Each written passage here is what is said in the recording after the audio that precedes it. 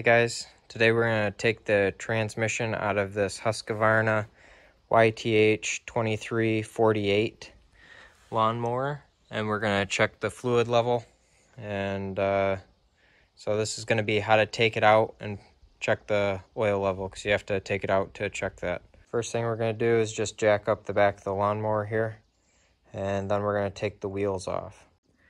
Alright, there's a black cap on here. You just got to basically get underneath here and pull it off.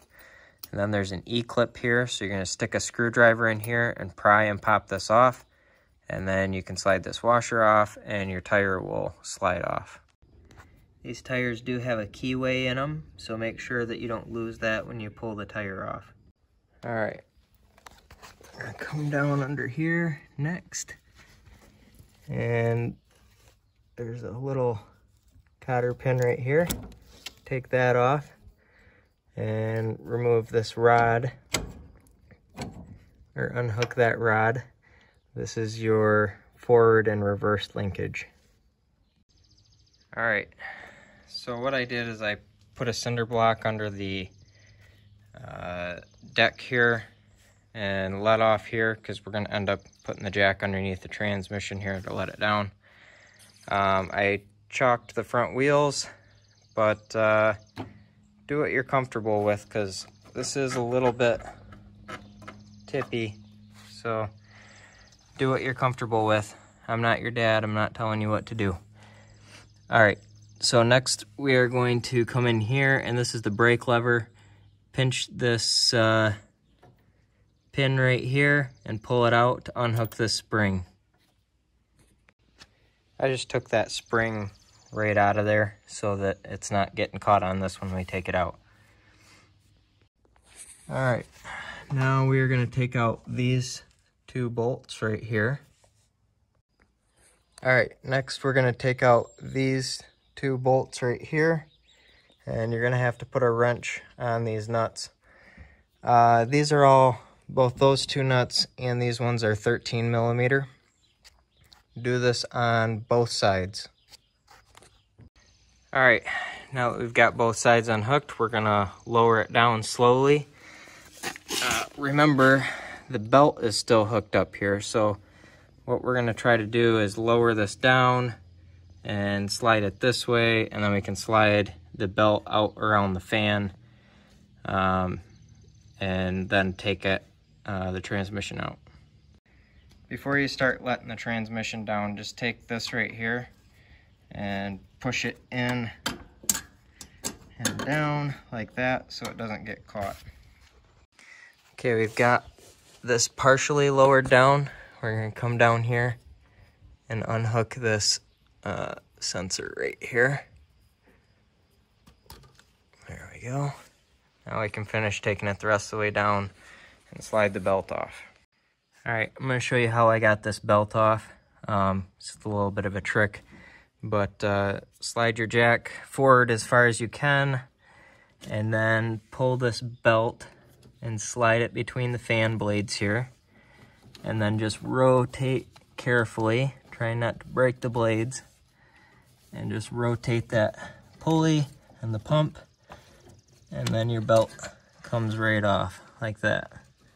And then your transmission is loose. And you can take it out with two hands all right, once you've got it out, hopefully yours is not as dirty as mine is. But uh, if it is, you need to clean it up. So we need to get this thing all clean so that we can actually access the oil port, which is actually under here, um, without uh, getting dirt and stuff in the oil. All right, now we need to get this snap ring off. So you'll need a set of snap ring pliers.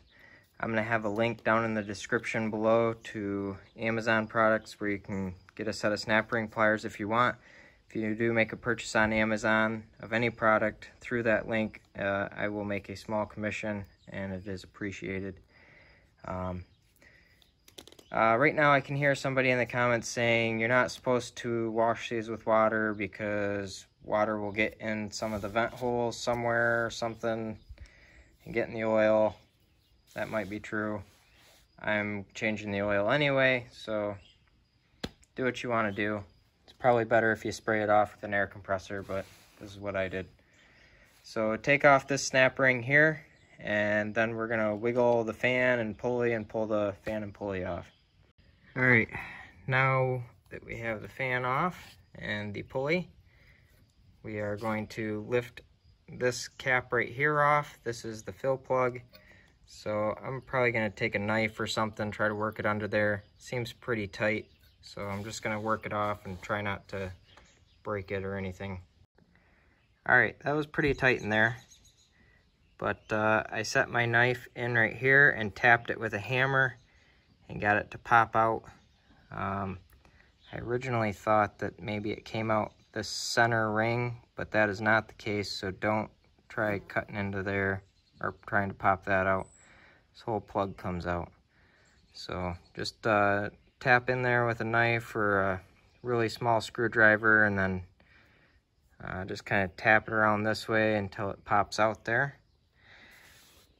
So then there's this magnet in here. You can see there's some shavings on there. It's been doing its job. So we will clean that off. And then there's supposed to be fluid um, pretty much to the top of uh, there, and I don't see any, so that is, I guess, good and bad.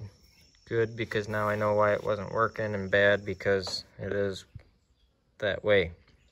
Um, so the way you drain this is just tip it over and let it run out into a container, and then uh, refill it with 5W50 uh, full synthetic.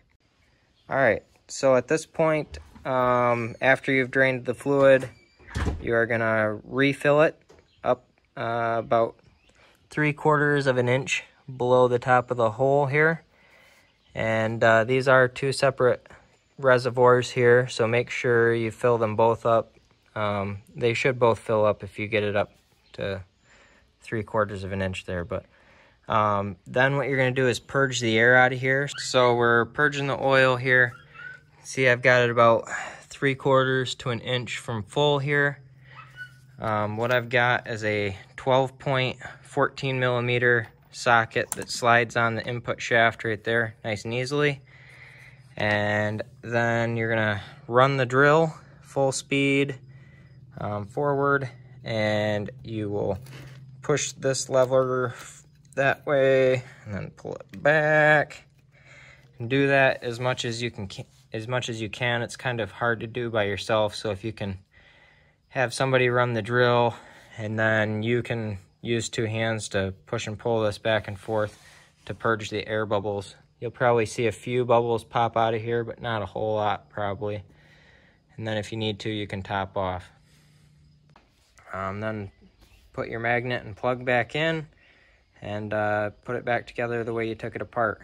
So if this video is helpful, smash that thumbs up button, comment below. It really helps out. Feel free to check out those Amazon links in the description below. And uh, have a good one.